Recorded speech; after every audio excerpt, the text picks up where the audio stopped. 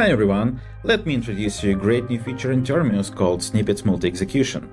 Previously, to run the same command on several hosts, you would need to connect to them first and then run this command one by one in each and every session. Now you can do it much faster.